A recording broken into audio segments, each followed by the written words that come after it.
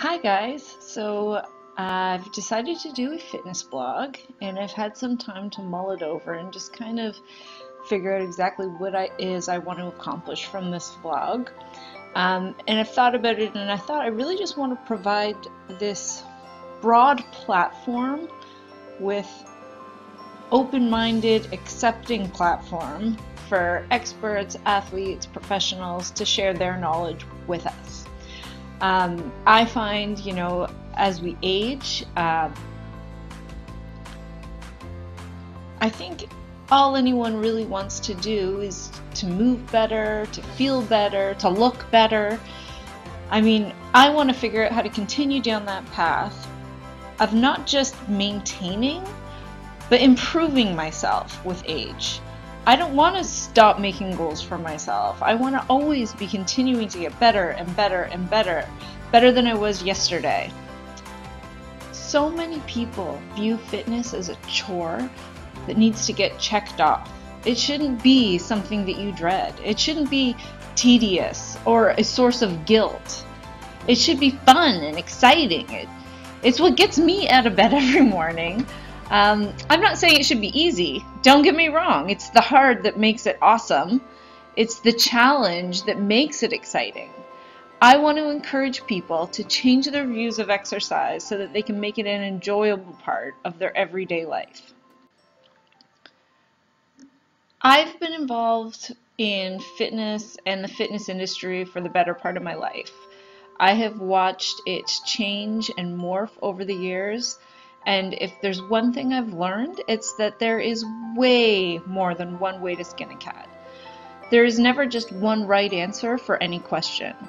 Information can go from being gospel one day to totally being discredited the next. We have to understand that there are so many variables, so many opinions, so many priorities out there. There's no easy way to navigate a blueprint to success because there's so many ways to get from point A to point B.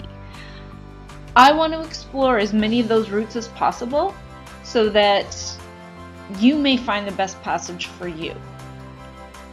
As I was preparing myself to do this vlog, I went online and looked at some other fitness blogs out there, and there are a lot. There are a lot of fitness vlogs out there. Um, and I found there is a lot of information, and a lot of that information is better than others, and I don't agree with all of it. Um, but I also found there's a lot of judgment out there, and I just I want to provide a positive, um, open-minded platform, like I said earlier.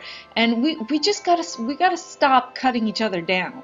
Like we need to work on building each other up like use other people's success to motivate you. I love seeing someone reach a goal that they never thought they'd be able to accomplish because it just makes me think that if I put in enough work, I might be able to reach my unimaginables too.